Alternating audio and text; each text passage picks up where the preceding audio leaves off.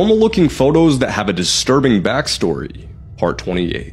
While this appears to be a book with typical wear and tear, the damage at the bottom is from a bullet hole. The math book belongs to 10 year old Uziyah Garcia, who, along with 18 other students, died in the Robb Elementary School shooting that occurred just a few months ago. This mirror selfie shows Giovanni Bezerra, a Brazilian anesthetist, who was arrested after assaulting a pregnant woman during her C section. He heavily sedated her and placed his private part in her mouth for 10 minutes, and is seen in a hidden camera wiping her face with gauze after he was done. This photo shows a group of US airmen who were taken as prisoners of war by Japanese soldiers in 1945. Eight of the 11 men were dissected while they were still alive, and the three others were placed in custody. This photo shows Michael and Susan Kuhnhausen after being married for 18 years. In 2006, Michael hired a hitman to kill his wife. However, Susan choked the man with her bare hands, saying, Tell me who sent you here, and I'll call you an ambulance.